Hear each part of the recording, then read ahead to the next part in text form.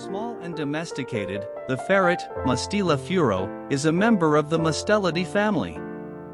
Due of their interfertility, ferrets are most likely a domesticated variation of the wild European polecat, Mustela putorius.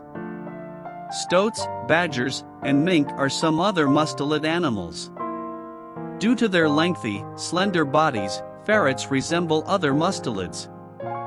A ferret's total length, including the tail, is typically 50 centimeters, 20 in. It weighs between 0.7 and 2.0 kilograms, 1.5 and 4.4 pounds, and its fur can be black, brown, white, or a combination of those hues.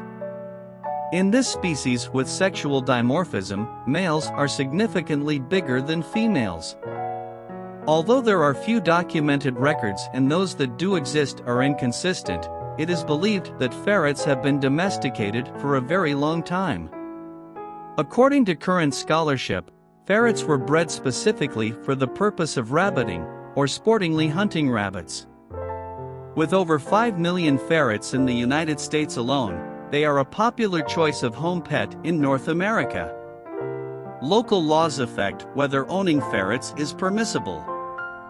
Restrictions are in place in New Zealand and some other nations because feral colonies of polecat ferret hybrids have a negative impact on the local flora.